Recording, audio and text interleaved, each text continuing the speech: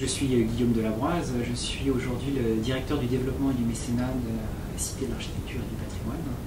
Et j'ai commencé euh, à travailler au château de Quintin il y a déjà quelques années quand j'étais euh, étudiant en histoire et en histoire de l'art à Rennes. C'est un, des fleurons de notre patrimoine, qui est le patrimoine régional euh, en Bretagne, dans les Côtes d'Armor, mais qui est aussi d'une importance nationale. Et il faut sauver ce château parce que je pense que ce patrimoine, une fois restauré, euh, ne, reste pas l'apanage d'une famille, de ses propriétaires, mais est là comme un poumon, euh, comme une caisse de résonance de toute cette, région.